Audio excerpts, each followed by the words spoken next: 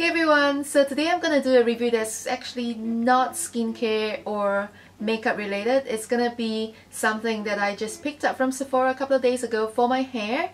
It's the Burt's Bee Avocado Butter Pre-Shampoo Hair Treatment. This is what it looks like. It comes in a little tube like that. It comes with 4.34 ounce of product.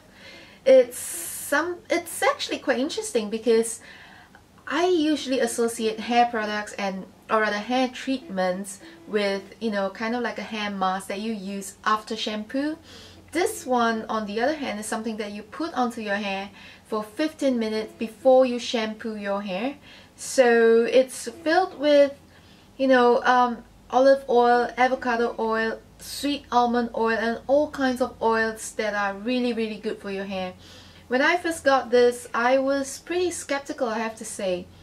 It's um smells, you know, slightly citrusy and it's kind of like this greenish gel-like. It's got a green gel-like kind of texture. Um, yeah, so if I just take a little bit out, this is what it looks like. It's kind of yucky it's um, a little bit gooey, as you can see. So I'm not the kind of girl that, you know, does a lot of things on my hair. I don't put a lot of stuff on my hair. It's usually just kind of like shampoo and conditioner and I try to put on a hair mask once a week although I've not been very good with doing that um, over the last couple of months. So, and as you know, if you've been following my channel, you probably know that I'm trying to grow, grow out my hair and um, I'm starting to notice that my hair's gotten pretty dry. So when I saw this I thought well okay it's it's selling for I think $20 in Singapore. Um, so I thought it's quite interesting. And I've read and so, seen so many DIY hair mask reviews using avocados so I was very very keen to try. Um, the only thing about this is you have to actually put it onto your hair for 15 minutes, concentrating on the hair ends.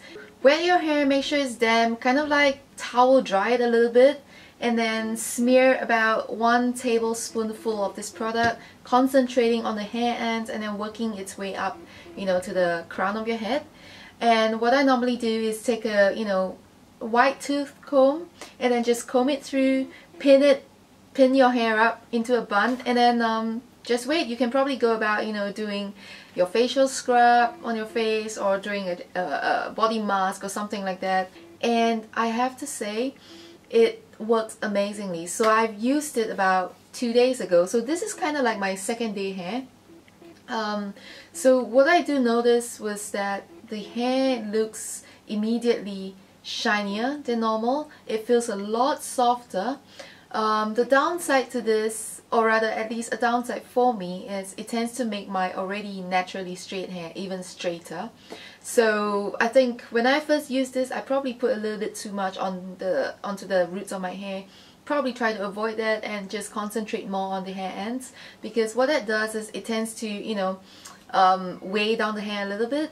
So for people with, you know, big frizzy, volumized hair, you know, it might be good for you. It might be something that you like, but personally, it's not a look that I like.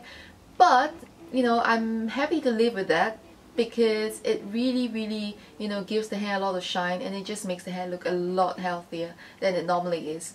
And, um, yeah, so it's a really, really good treatment. I would probably try and use this twice a week um, and uh, yeah so I just thought I'd like to share this with you guys. If you haven't you know tried this out do check it out. And leave a comment below if you've got another other if you've got other hair recommendations that you know has worked for you. Do let me know in the comments down below. Give me a thumbs up if this review was helpful. And um, I'll see you in a later video. Bye bye